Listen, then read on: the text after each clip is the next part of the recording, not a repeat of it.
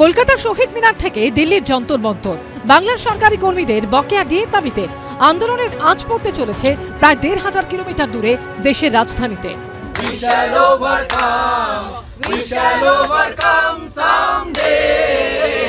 Oh.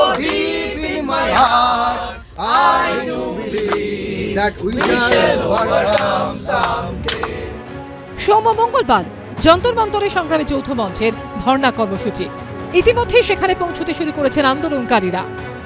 আগামীকাল এবং পরশু যন্তর মন্তরে আমাদের অবস্থান বিক্ষোভ কর্মসূচি আছে এবং তারই সাথে মাননীয় রাষ্ট্রপতি মাননীয় উপরাষ্ট্রপতি কেন্দ্রীয় অর্থ এবং শিক্ষামন্ত্রীকে আমাদের ডেপুটেশন দেওয়ার কথা আছে।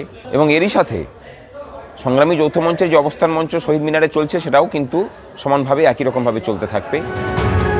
রবিবার দিল্লির উদ্দেশ্যে রওনা দেয় আন্দোলনকারীদের দ্বিতীয় দল। হাইকোর্টের তরফে তো ইতিমধ্যে বলা হয়েছে রাজ্য সরকারকে যে মুখ্য সচিব এবং অর্থ সচিব, তারা আপনাদের সঙ্গে বৈঠকে বসে একটা সুষ্ঠু সমাধান করবেন। এখনও পর্যন্ত কি সেই প্রস্তাব এসে পৌঁছেছে? আমাদের কাছে সেরকম কোনো প্রস্তাব আসেনি। তবে আমরা মাননীয় হাইকোর্টের যে রায়, তাকে সম্মান জানিয়ে বলছি, মুখ্যমন্ত্রী যদি ঘোষণার পরে আমাদের সঙ্গে বসতেন, তাহলে আমরা চিন্তা করতাম আমরা দিল্লিতে যাব কি না টুপি যেটা পড়েছেন আপনারা রোদের রোদের হাত থেকে বাঁচতে তার উপরে লেখা রয়েছে নন্দলাল। এই এই শব্দটা কেন ব্যবহার করে মাননীয় মুখ্যমন্ত্রী দেয়া উপাধি দিদির দেয়া উপাধি আমরা মাথায় পেতে নিচ্ছি এবং আগামী দিনে পশ্চিমবঙ্গের আপামর জনসাধারণ এর জবাব দেবে। দিল্লির দরবারে বকেয়া দিয়ে দাবি জানানোর পাশাপাশি অস্থায়ী কর্মীদের স্থায়ীকরণ এবং স্বচ্ছভাবে শূন্য পদে নিয়োগের দাবিতেও সরব হবে সংগ্রামী যৌথ মঞ্চ। বকেয়া ডিএর দাবিতে আন্দোলনকে দিল্লির দরবারে নিয়ে যাওয়ার নেপথ্যে বিজেপির ইন্ধন দেখছে তৃণমূল। এর পাল্টা জবাব দিতে ছাড়েননি আন্দোলনকারীরাও। দিল্লির দরবারে যাচ্ছেন, বলতে পারছেন না বাংলার বকেয়াটা দিল্লি দিক। স্পন্সরশিপ থাকে, রাজনৈতিক স্পন্সরশিপ যে এসো, তোমরা এখানে এসো, আমরা সব ব্যবস্থা করে দিচ্ছি, এমনভাবে নাটক করো যাতে বাংলার বদনাম হয়, তৃণমূলের বদনাম হয়। তারা তো সেই কাজটা করতে যাচ্ছেন। তার সঙ্গে তো প্রকৃত দাবি দেওয়ার কোনো সম্পর্ক নেই। তাদের যদি কোনো বক্তব্য থাকে যে রাজ্যকে এই করতে হবে, ওই করতে হবে, তারা আবার কোর্টে গিয়ে বলুন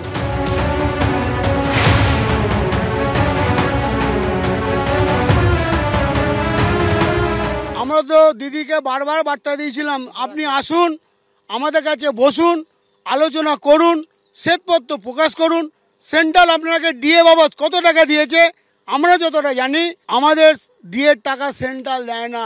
এটা মাননীয় এবং তার দলবল শাখা শাখারা মিথ্যা রটাচ্ছে তৃণমূল কংগ্রেস জানে তারা বিজেপির কাছে হারতে চলেছে। তাদের প্রতিপক্ষ বিজেপি। সেজন্য প্রত্যেক ক্ষেত্রেই বিজেপিকে টেনে আনে। কিন্তু এই সরকার দিয়ে দিতে পারবে না। নতুন সরকার এসে, যেটাকে অনেকে ডবল ইঞ্জিন বলছেন, বিজেপি শাসিত অন্যান্য রাজ্যের মতো, পশ্চিমবঙ্গেরও যারা কর্মচারী আছেন, পেনশনভোগী আছেন, তাদের রেট্রোস্পেক্টিভ এফেক্টে দিয়ে দেবে। বিজেপির পাশাপাশি কংগ্রেসও এই ইস্যুতে তৃণমূলের কড়া সমালোচনা করে আন্দোলনকারীদের পাশে দাঁড়িয়েছে। আন্দোলনের প্রতি কোন রকম কোন সহানুভূতি রাজ্য সরকার দেখিয়েছে? উল্টে কখনো কুকুরের সাথে তুলনা, কখনো হচ্ছে চোর ডাকাত বলা, এই যে কথাবার্তাগুলো তাদের তরফ থেকে বারবার করে এসছে। আর এই যে বারবার করে কথা বলছে না যে কেন্দ্রীয় বঞ্চনার জন্য বিয়ে না দিতে পারাটা, এটা সর্বৈব মিথ্যা কথা।